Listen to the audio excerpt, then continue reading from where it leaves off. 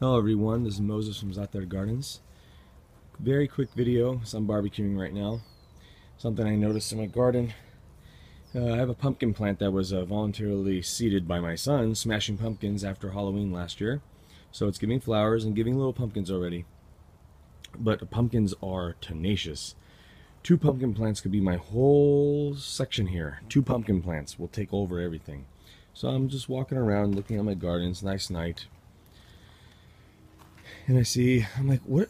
Uh, first idea was, oh, how did the grape plant grow over here? Because it kind of looks like it if you look at the leaves. And all of a sudden, I'm like, uh oh. I saw the little pumpkin bulbs. If I let this grow, uh, no, you know, like people would say, don't cut it. That's what I'm to be doing right now. Don't cut it. You know, that's more pumpkins. What will happen is you're going to get smaller pumpkins and the plant is going to become really stressed in the summer and it's going to need a lot of water. This will grow here there over here around here circle around circle around come around here go up there down left right and start over again. It'll grow everywhere. So imagine and they don't they don't easily send uh, roots along the way. So all of it will be coming from the nutrition and moisture.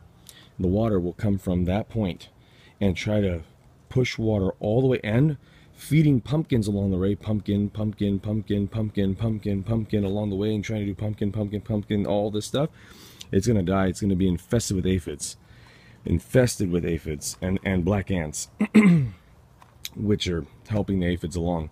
So your best bet is let the pumpkin grow at, its limit and cut it where you need it. So I'm going to cut it right I kind of like that this one's pretty big. Look how green it is though. Isn't that gorgeous? But it's gonna go, see, I already have an ant. You see that ant? That's a problem. That's a problem. That means it's putting aphid somewhere. It's putting aphid somewhere. I'm sorry for the AC. Well, I'll figure it out later. But anyways, it's gonna be cut right there. That's it.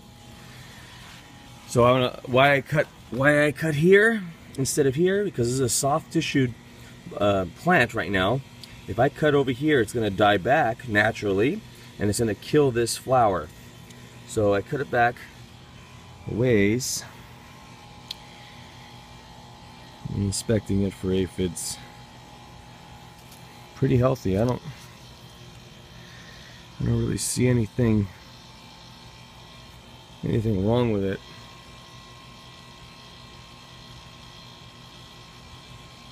Thus far. Well, okay then. Good. No aphids.